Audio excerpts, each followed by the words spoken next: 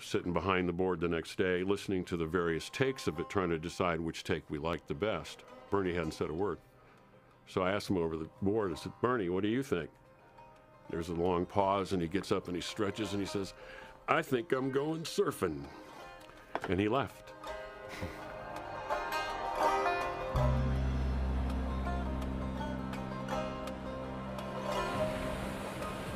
I was caught in the middle a lot of times. And sometimes I would agree with Bernie, but most of the time I would agree with Glenn.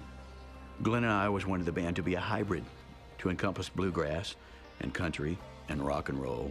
There was a part of Bernie that really resisted that. After a while, it became a real problem, particularly between Bernie and Glenn. Finally, we were at the Orange Bowl in Miami. We were backstage and we were talking about what our next move was going to be, what our plans were supposed to be, and I was animated and and adamant about what we needed to do next, here, there, and everywhere. And Bernie comes over and pours a beer on my head and says, "You need to chill out, man." I have no idea it was a spontaneous thing. I mean, I, I take that incident now quite seriously. That was a very disrespectful thing to do. Obviously, was intended to be humiliating to him, I would say, and uh, is something I'm really not proud of. It did illustrate a breaking point.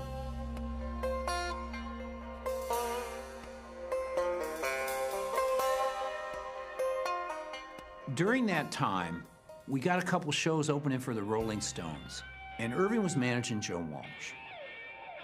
Joe Walsh was a bona fide rock and roll guitar player.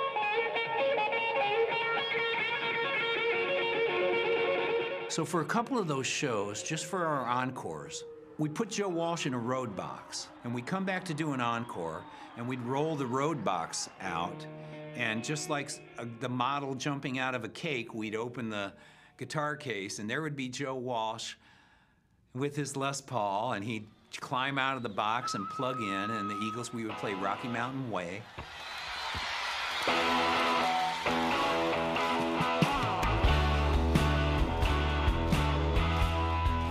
I loved the way he played.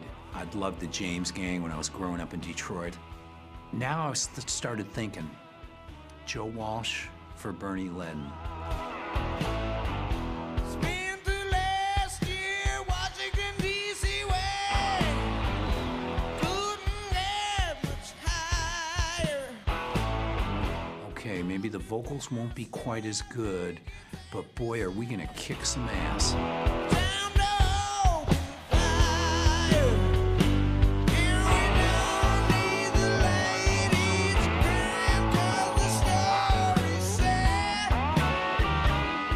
Think one of the things that I brought into the band that was good for the band was to bring it up a notch when we played live. Just keep kicking it in the butt a little bit, you know.